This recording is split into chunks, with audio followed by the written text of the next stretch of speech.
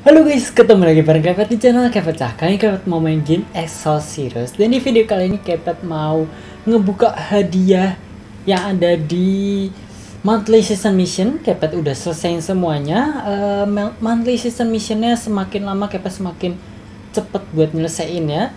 Tinggal nunggu loginnya aja butuh 13 hari. Habis itu Kepet udah langsung selesaiin semuanya tanpa harus eh, bekerja keras ya jadi langsung aja kita masuk ke game Excel Series. Oke guys, jadi kalau dilihat ini masih ada sisa 15 hari 6 jam. Eh ini kepet record itu tanggal 9 Maret, jadi masih ada sisa 15 hari.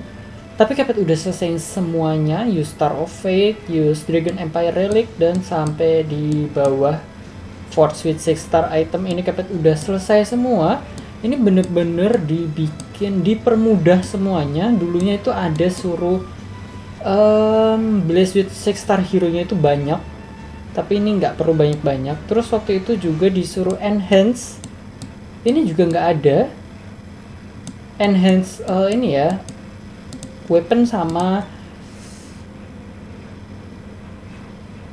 equipment ini sekarang udah nggak ada jadi nggak perlu lagi buat uh, ini nih awaken weapon sama enhance equipment.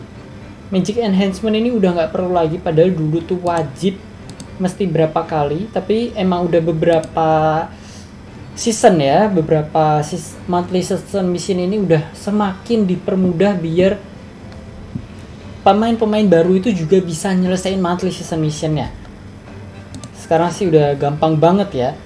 Kita langsung ambilin aja ya hadiah-hadiahnya nanti langsung kita buka bareng-bareng.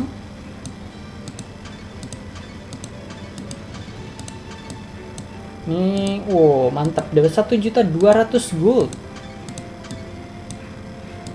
Terus dapat fated uh, hero recruit ticket fated hero recruit ticket ya. Ini mantap juga nih langsung dapat satu fated.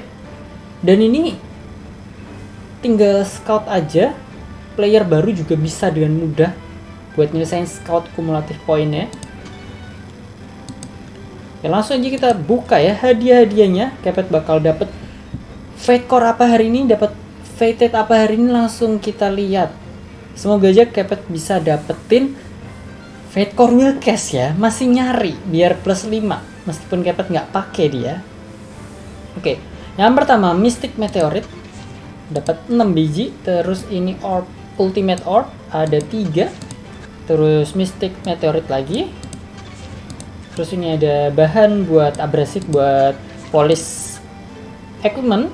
Terus ada holy water of the universe ada bahan buat enhance. Terus ada buku buat naikin XP ada ultimate orb lagi. Terus ini shard ya. Oke. Okay. dapat jondong tuh tadi Oke, sekarang Kepet buka dulu dari Fated Equipment dulu ya. Hup. Magical Glove, oke. Okay. Terus ini Magical Accessory. Apa tuh? Dapat title God of War. Oke, okay, sekarang Kepet mau buka dari weaponnya dulu ya. Oke, okay, Magical Master of Darkness. Nah, ini dia kalau fatednya Kepet berharapnya bisa dapet um, Batori bisa nggak sih? Nggak bisa ya, cuman dari ini aja ya. Kalau dari ini mungkin Kepet berharap bisa dapetin Valentina atau Jin, Naomi, Soa atau Nemeris karena Kepet belum transcend maksimal. Jadi semoga ya Kepet bisa dapet yang belum maksimal ya transcendnya. Rera lagi. Rera udah di transcend maksimal. Jadi mestinya nggak butuh Rera. Tapi oke okay lah ya. Udah dikasih gratis terima aja lah ya. Oke okay, sekarang fate core nya ayo please fate core cast. Let's go fate core cast. No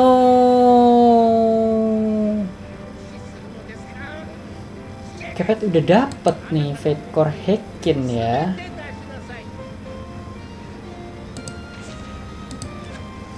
Black Tire, Fate Core Hacking, langsung aja kepet Fuse ya.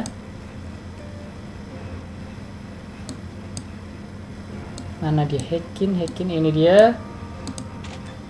Baru sekali sih dapatnya.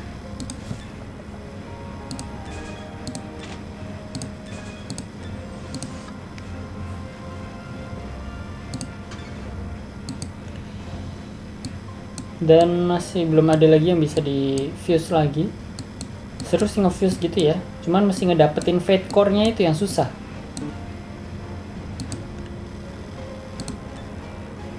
Oke okay guys, buat video kali ini sampai di sini dulu. Uh, kepet dapetin dari monthly season mission itu dapetnya Fate Core Hacking dan juga dapat Fated-nya itu Rera.